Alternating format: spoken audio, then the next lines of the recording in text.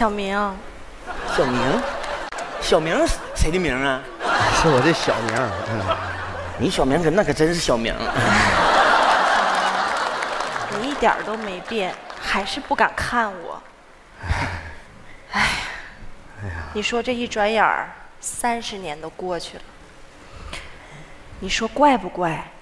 我就到现在，那做那梦啊，还是咱们小时候上学那会儿。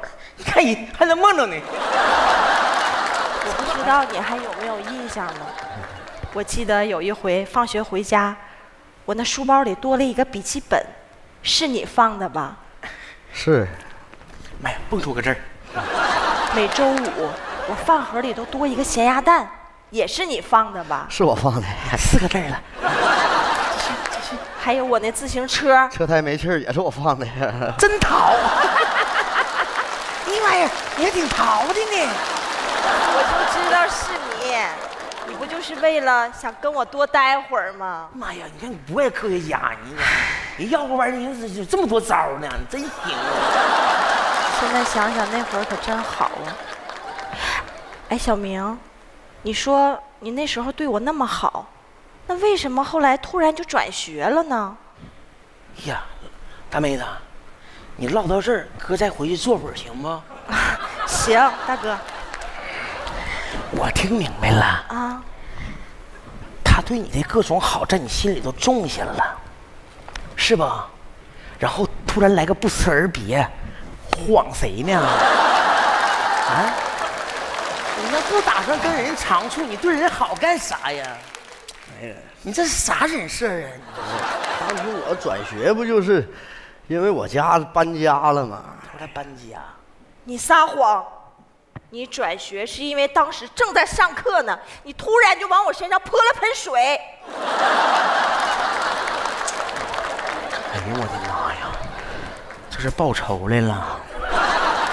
这三十多年呐，泼的开水吧，撵家来了，这是报仇来了。你往人身上泼水干啥呀？不是大哥，老杨，你跟大哥说，哎呀，这都三十年前的事了，还有必要说吗？就别说了。丢人咱都这个岁数了，有啥不能说的呀？你说不说？不是揍！说跟我说，今天就当个情感类的栏目，我是主持人，大妹子跟我说。